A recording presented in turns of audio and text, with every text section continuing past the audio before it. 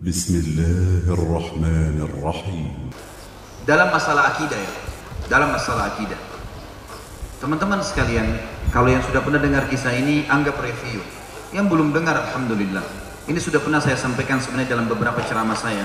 Kalau yang pernah ikutin di Youtube atau di web, mungkin sudah tahu. Tapi kita review. Kisah masalah akidah ini yang paling pertama dan tidak bisa saya lupakan kisah ini karena ini yang paling pertama tertanam dalam hati saya dan membuat akhirnya saya sadar tentang pentingnya masalah akidah, keyakinan kepada Allah. Figur Abu Bakar tadi, radhiyallahu anhu. Beliau adalah orang yang kurus tadi secara fisik dan kalau ditiup angin terdorong teman-teman sekalian, tapi imannya mengalahkan iman semua umat ini. Di antaranya adalah kisah tentang Isra dan Mi'raj. Bagaimana waktu itu Nabi Muhammad SAW pulang dari Mekah, duduk di depan Ka'bah. Kemudian beliau merenungi kejadian semalam, kejadian yang spektakuler, kejadian Isra Mi'raj yang luar biasa. Apa yang terjadi teman-teman sekalian? Pada saat itu Abu Jahal, Fir'aunnya umat ini lewat di sebelah Nabi SAW lalu berkata, Wahai Muhammad, kenapa kamu melongo-longo seperti ini? Bahasa sederhananya begitu. Lalu Nabi SAW menceritakan apa adanya. Semalam datang kepada saya malaikat Jibril. Jibril membawa seekor kuda bernama Burak. Burak itu kuda putih bersayap. Di mana waktu saya saya tunggangi atasnya. Di mana pun kakinya, kakinya, ya, di mana pun matanya melihat kakinya sudah di sana, saking cepatnya. Saya tiba di Masjid Aqsa, lalu saya sholat mengimami ruhnya semua nabi-nabi. Ini 120 ribu nabi bukan main-main. Kemudian saya naik ke langit bertemu dengan di langit pertama Nabi Adam ketemu langit kedua dua nabi yang bersepupu Isa dan Yahya alaihi wassalam. Kemudian langit ketiga bertemu dengan Idris, langit keempat dengan Yusuf, langit kelima dengan Harun, langit keenam dengan Musa, langit ketujuh dengan Ibrahim alaihi wassalam. Tentu di sini ada pembicaraan antara Nabi SAW dengan nabi-nabi tersebut dalam kisah Isra Mi'raj. Saya nggak ceritakan. Juga transisi antara Mekah menuju ke Palestina, Nabi Muhammad SAW diperlihatkan beberapa jenis azab siksa kubur. Juga saya tidak ceritakan, karena saya ingin datangkan tokoh kita si Abu Bakar radhiyallahu anhu ini. Kemudian setelah itu teman-teman sekalian, Nabi SAW mengatakan saya terima sholat, kemudian saya turun ke Palestina, saya kembali lagi ke Mekah. Ini yang saya ceritakan cuman seperseratus mungkin dari cerita yang panjang dari riwayat Isra Mi'raj. Teman-teman sekalian, setelah selesai menyampaikan panjang lebar kisah tersebut, maka Abu Jahal berkata, Wahai Muhammad, apa kau melakukan perjalanan dari Mekah ke Palestina yang kami tempuh dengan kuda terbaik kami sebulan pulang pergi dua bulan. Jadi waktu itu kalau kuda terbaik, laki-lakinya juga segar dan kuat, itu mereka harus butuh satu bulan naik kuda nonstop sampai Mekah Palestina. Pulang lagi satu bulan, berarti dua bulan. Apa kau tempuh dalam satu malam? Kata Nabi SAW, iya. Coba teman-teman gini rasionalnya. Kalau di masjid ini sekarang ada yang hadir dan dia bilang begini. Tadi pagi, saya jam 6 pagi tadi berangkat dari Jeddah ke Makassar. Sekarang sudah tiba. Percaya nggak kira-kira? Hah? Ini masih hidup gak nih? Nggak ada suara nih. Kira-kira masuk akal nggak? Jam 6 pagi tadi take off dari Jeddah. Itu kalau jam 6 sana berarti jam 10 waktu sini ya. Beda 4 jam kita maju. Anggap jam 10 tadi. Ya. Kemudian sekarang dalam 26 menit saja. Sekarang 10.26. 26 menit sudah tiba di Makassar. Percaya nggak kira-kira? Ada pesawat loh. Bagaimana di zaman Nabi Muhammad SAW perjalanan sebulan pergi sebulan pulang. Waktu itu dengan kuda terbaik satu malam. Apa kata Abu Jahal? Hai Muhammad, kau menempuh perjalanan kami dengan kuda terbaik kami. Sebulan pergi, sebulan pulang, dua bulan dalam satu malam. Kata Nabi SAW, iya. Dengan jelas. Kata Abu Jahal apa? Hai Muhammad, kau mau ceritain nggak masyarakat Mekah nih kalau saya kumpulin mereka? Kata Nabi SAW, tentu saja. Tidak nunggu Abu Jahal pegang tangan Nabi SAW dibawa ke atas bukit namanya Bukit Abi Kubais. Bukit untuk menginformasikan sesuatu di Mekah pada saat itu. Naiklah pada saat itu Nabi SAW dengan Abu Jahal. Abu Jahal lalu teriak-teriak, wahai penduduk Mekah, perlu anda tahu, Bukit Abi Kubais ini hanya dipakai untuk menginformasikan sesuatu yang penting saja sesuatu yang penting saja gitu kan? Dan yang boleh naik hanya budak. Ada satu orang budak selain dia kalau naik dipenggal lehernya karena ini informasi penting. Kayak Mekah kan diserang ada lahir anak kepala suku ada mati kepala suku baru bisa naik ke situ. Kalau enggak nggak boleh. Masyarakat Mekah tuh lihat kaget.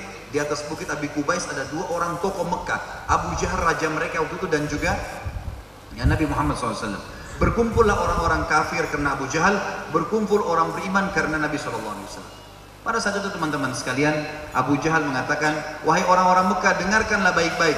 Muhammad akan menyampaikan berita penting buat kalian.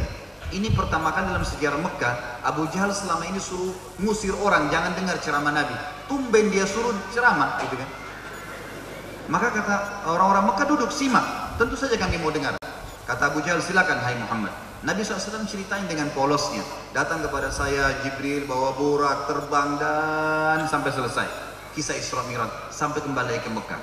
Ini ceritanya panjang lebar nih. Kisah tentang adab kubur, tentang ketemu dengan nabi-nabi, ngobrol, terus terima perintah sholat, kembali lagi Palestina, kembali lagi ke Mekah, gitu kan. Apa yang terjadi? Orang-orang yang kafir pada saat itu bertambah kufur kepada Nabi SAW. Mengatakan Muhammad gila nih. Mana ada kuda bisa terbang, ada sayapnya. Mana ada bisa satu bulan perjalanan, dua bulan kurang pergi ditempuh. Itu aja kita nggak percaya. Apalagi sholat, mensolat ruh para nabi, naik ke atas, ketemu dengan nabi-nabi, ketemu dengan Tuhannya ini sudah nggak masuk di akal. Maka mereka nolak. Yang sudah beriman dari kalangan sahabat sempat bimbang. Ini benar gak ya? Tapi ini Nabi yang sampaikan. Mereka ragu. Bukan ragu ya, bimbang. Maka pada saat itu Abu Jahal kena targetnya memang sengaja, sengaja untuk eh, apa namanya? Untuk me, me, me, me, meredam dan memberhentikan dakwah Nabi SAW, dia turun dari bukit Abi Kubais sambil senyum dan mengatakan, sekarang agamanya Muhammad sudah habis.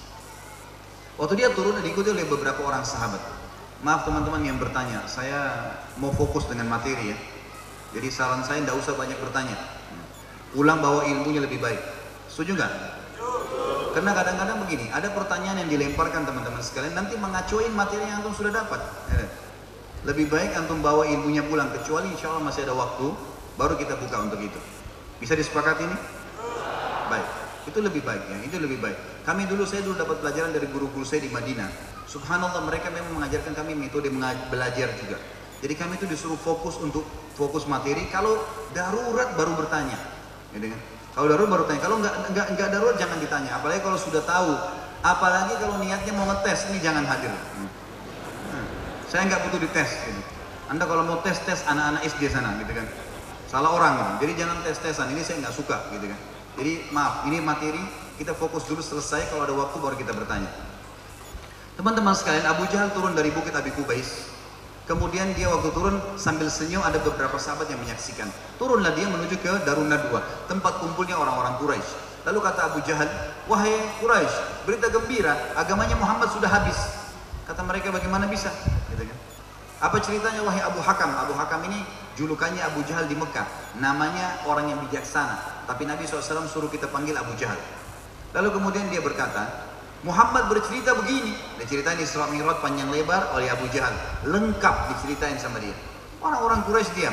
Lalu kata Abu Jahal, tinggal ada satu orang. Kalau satu orang ini kalian berhasil menggoyahkan imannya, maka akan habis agamanya Muhammad. Cari Abu Bakar. Abu Bakar radhiyallahu anhu lagi ada di kebun kurmanya di luar Mekah. Diikutilah oleh orang-orang Quraisy ini. Abu Jahal pergi diikuti oleh tokoh-tokoh Quraisy. Diikuti juga dari belakang oleh beberapa orang sahabat Nabi nih. Yang mau tahu apa nih ceritanya ini. Ini sudah simpang siur di Mekah. Berita yang dibohongkan Nabi Muhammad SAW. Perhatikan bagaimana figur tokoh kita ini akan meyakin meredam fitnahnya Abu Jahal dan membalik fakta satu Mekah yakin Isra Mi'raj terjadi. Bagaimana dia bisa membalik kasus itu? Datanglah mereka ke kebun Abu Bakar, lalu Abu, lalu Abu Jahal teriak-teriak, wahai Abu Bakar keluarlah. Keluar Abu Bakar, Abu Bakar heran. Pertama kali di kebunnya didatangi oleh tokoh-tokoh Quraisy. Ditanya, gini, siapa kalian ini? Kenapa, kenapa kalian datang? Gitu kan. Kata Abu Jahal, temanmu Muhammad sudah gila. Masa dia mengaku begini, begini, begini, diceritain panjang lebar Isra Mi'raj. Ada Jibril datang malaikat bawa kuda bersayap dan dan dan sampai habis. Abu Bakar ini belum dengar dari Nabi Muhammad SAW. Tujuannya untuk meredam dan membatalkan atau merusak imannya Abu Bakar. Abu Bakar sudah tahu. Selesai Abu Jahal cerita dengan semangat, panjang lebar. Lalu kata Abu Bakar, wahai Quraisy, ketahuilah, aku telah beriman kepada apa yang diucapkan oleh Muhammad dan dia mengatakan wahyu turun dari langit ke dia di bumi. Apa bedanya dengan aku beriman kalau dia naik ke langit? Sama saja. Dan ketahuilah wahai Quraisy, kalau di depan mata saya ada tembok warnanya putih dan Muhammad mengatakan tidak Abu Bakar itu hitam, saya akan bohongkan mata saya dan saya katakan iya hitam.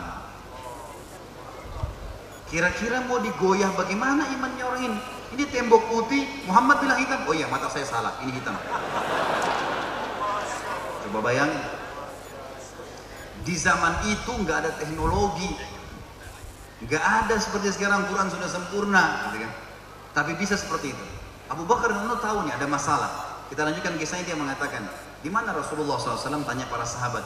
Mereka mengatakan di bukit Abu Kubais dikerumuni oleh orang-orang. Pergi Abu Bakar ke sana. Dari jauh dilihat Nabi SAW lagi ada di atas bukit. Lalu Abu Bakar berkata, Ya Rasulullah, Ya Rasulullah, teriak dengan suara keras. Waktu mendengar panggilan tersebut, orang semua kasih jalan, gitu kan? Seperti kalau luar masjidnya ada yang panggil nama saya, mungkin antum atau anda akan balik ke sana semua, gitu. Maka yang terjadi sambil jalan sambil Abu Bakar bilang, Ya Rasulullah, Abu Jahal mendatangi kebun saya dan berkata, Anda bercerita telah datang begini, begini, begini, begini ceritain semua sampai habis. Sambil jalan sambil teriak nih. Tujuannya Abu Bakar untuk nyebarin, makin nyebar nih Isra Mi'raj. Pas naik di atas bukit Abi Kubais, di hadapan Nabi SAW, kisahnya selesai. Kata Abu Bakar, ya Rasulullah, benarkah itu? Kata Nabi SAW, benar. Gitu kan. Apa kata Abu Bakar? Mengembalikan imannya para sahabat yang sempat bimbang tadi. Anda pasti benar. Teriak dengan suara keras. Para sahabat sadar, iya ya, ini Rasulullah. Gak mungkin salah. Kembali lagi iman mereka. Lalu dia sekarang mau membalik satu Mekah, harus yakin tentang Isra Mi'raj. Bagaimana caranya? Dia bilang, ya Rasulullah, satu Mekah ini tahu Anda belum pernah ke Palestina. Belum pernah Anda lihat Palestina. Semua kami tahu. Dan di sini ada toko-toko Quraisy yang sudah bolak-balik Palestina sampai mereka hafal rumahnya, pasarnya, pintu gerbangnya, Masjid Aqsa mereka tahu. Warna-warnanya semua mereka tahu. Apakah Anda bersedia kalau saya panggil Anda menceritakan Palestina yang Anda lihat? Kata Nabi SAW, tentu saja Abu Bakar. Abu Bakar lalu teriak, wahai Abu Jahal, wahai teman-teman si Fulan, Amr bin Hisham, dipanggil semua. Silakan datang ke sini. Lalu kata Abu Bakar, wahai Quraisy, jadilah saksi kalian wahai pemilik, uh, pemimpin Quraisy. Muhammad akan menceritakan kepada kalian tentang Palestina dan kalian tahu dia belum pernah ke sana. Kalau apa yang disampaikan nanti tentang jalannya, pintu gerbangnya, pasar-pasarnya, rumah-rumahnya, masjid aksanya, seperti yang kalian tahu, harus sportif mengatakan Muhammad benar. Dan kalau yang disampaikan satu saja tidak sesuai yang kalian tahu, kalian boleh mendustakan Muhammad selamanya. Setuju? Setuju. Baik. Kata Abu Bakar, silakan ya Rasulullah. Nabi SAW mulai ceritakan. Dalam riwayat Bukhari, kata Nabi SAW, Allah Azza wa Jal membukakan di depan mata saya Masjid Aqsa dan Palestina. Sampai saya menggambarkan mereka pintu gerbangnya, warnanya, jalannya, pasar-pasarnya.